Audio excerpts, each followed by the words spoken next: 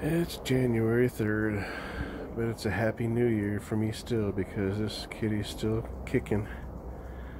She's working on 20 years now.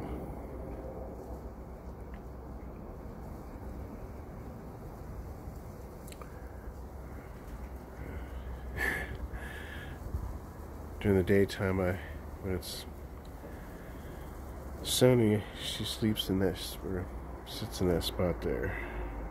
It's a nice little spot for her. She can get her sunshine.